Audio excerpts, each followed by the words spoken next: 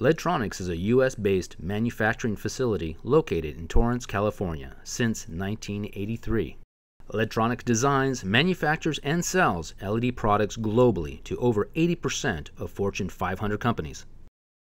LEDtronics would like to introduce you to our new LED Cobra Head luminaire.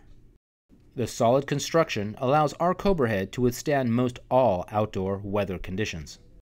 It has a die-cast aluminum housing with electrocoated marine grade finish and is IP65 rated. Our Cobra Head is RoHS compliant and is currently on the Design Lighting Consortium approved list. Our lamp has been tested in accordance with IES standards. It comes with a photocell receptacle and an onboard 40,000 amp surge protection. Our patented design has a full cutoff light disbursement, which makes it dark sky compliant.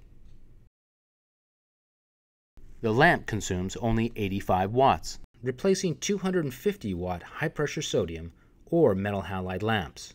The operating voltage range is 100 to 277. Installing LED lamps is far easier than installing HID lamps.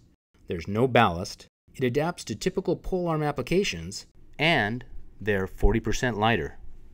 Our Cobra Head is made in the USA at our facility in Torrance, California, and comes with a 5 year warranty.